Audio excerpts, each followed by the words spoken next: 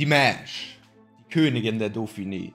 Ein Berg, wie er im Bilderbuch steht, mit seinen fünf steilen Zacken, die fast an der 4000er Marke kratzen. Damals galt er von vielen als unbesteigbar.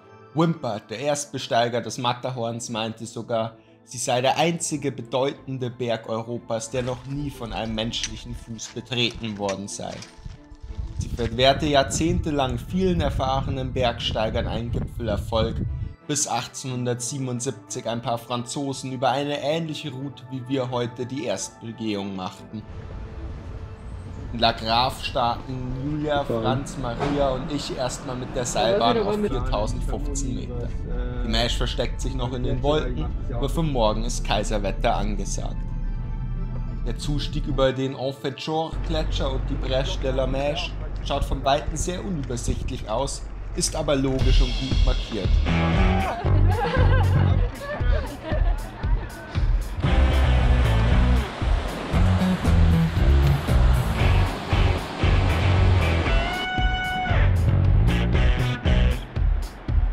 Kletterstellen bleiben immer unter dem dritten Grad, sind aber teilweise recht ausgesetzt.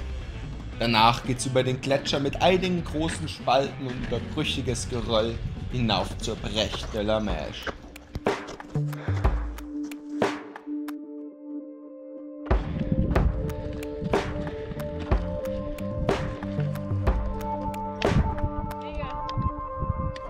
Hier sehen wir schon die Hütte, aber wir müssen erst sorgsam über die glatten Platten abklettern und einmal abseilen, um sie zu erreichen. Achtung, das geht auch noch mal kurz ums Eck. Bin mir da relativ sicher. Wenn ich komme, dann hat sie so viel Seite. Bei der Julia wird es kritisch. Ich habe extra viel Landjäger dabei. Schaut gut aus. Perfekt. Woo! Ich finde, es ging richtig gut. Yay!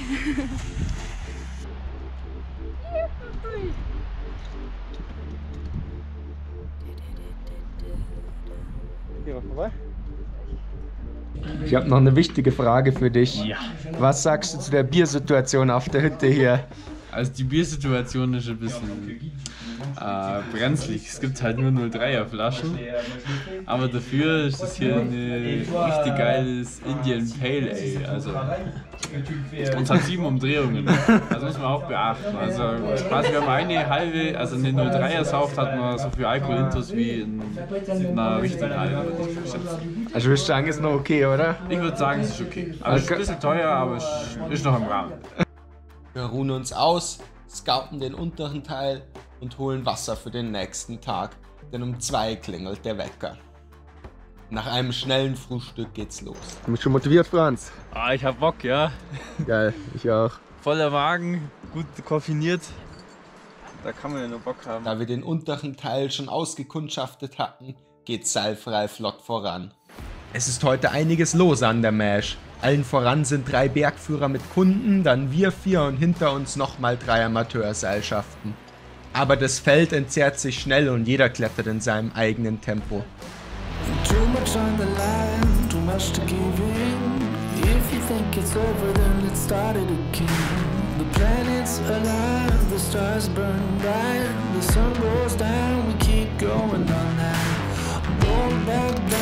The moment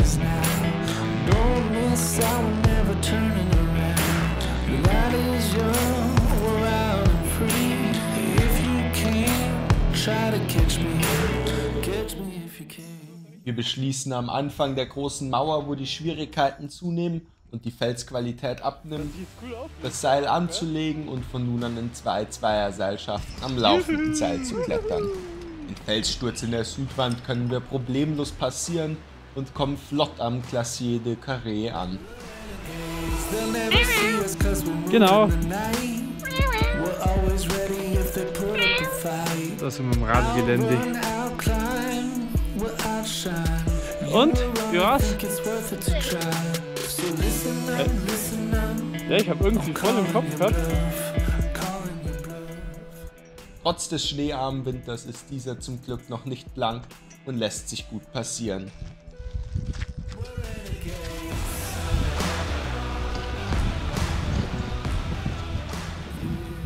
Nach einer kurzen Pause starten wir dann in den oberen Teil des Promotorgrads hinauf zum Gipfel des Grand Pic. Die Kletterei ist leicht, aber brüchig und in einer Länge am laufenden Seil geht's schnell voran zum berühmten roten Pferd. Lando! Wie ist es am roten Pferd? Jetzt hock dich mal auf aufs rote Pferd, Maria.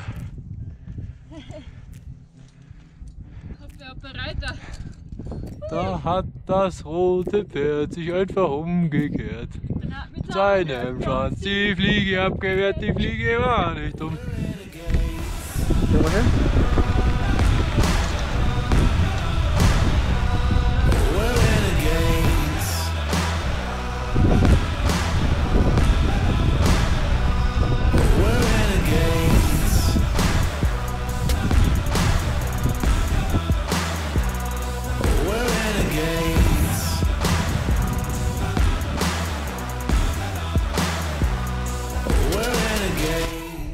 Meter zum Gipfel sind leicht und nach nur vier Stunden genießen wir die Sonne und das schöne Wetter und stärken uns mit ein paar leckeren Landjägern der Metzgerei Schuster aus dem Allgäu.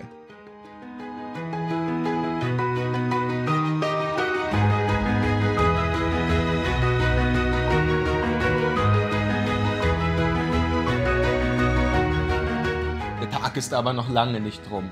Nun stehen noch die Traverse über die fünf Finger der Mäsch an. Der erste, der Don Sixmondi, wird nordseitig mit einem Klettersteig über eine eisige Passage umgangen.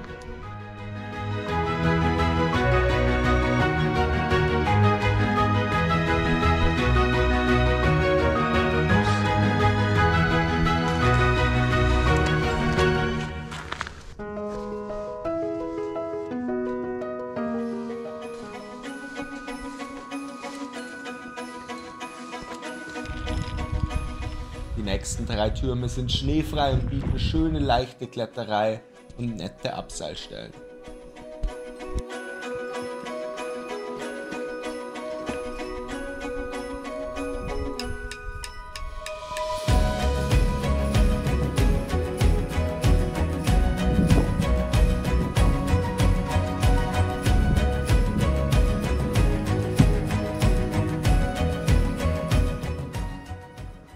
Etwa dreieinhalb Stunden nachdem wir am Grand Pic waren, erreichen wir den letzten Turm, den Don de Dieu, den Daumen Gottes, der wild nach Osten überhängt. Geil! Nice.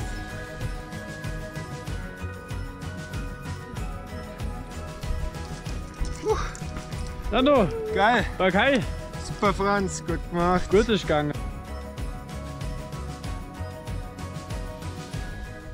Vom Gipfel des Droit de Dieu seilen wir dreimal ab, um den Gletscher zu erreichen. Obacht, mittlerweile braucht es mindestens zwei 50 Meter Seile, um den Bergschrund zu überwinden.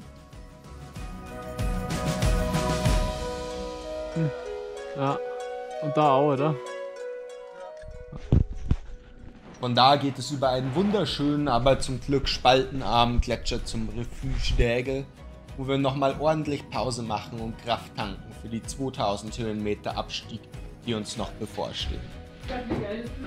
Auch hier kann man voll auf die schauen. Prost auf unsere Tour. Ah, lecker. Einfach was gesund. Bis auf den Franz, der weiterhin wie eine Maschine vorausmarschiert, müssen wir uns im Abstieg schon alle ganz schön quälen, bis wir dann am Abend endlich wieder am Parkplatz ankommen. Überschreitung der Mäsch war mal wieder eine ganz geniale Tour, in der alles wie am Schnürchen gelaufen ist und die uns lange in Erinnerung bleiben wird. Die meist sehr gute Felsqualität und die bestechende Linie machen sie zu Recht zu einer der begehrtesten Touren der Alpen und zu viert hat das Ganze gleich nochmal mehr Spaß gemacht.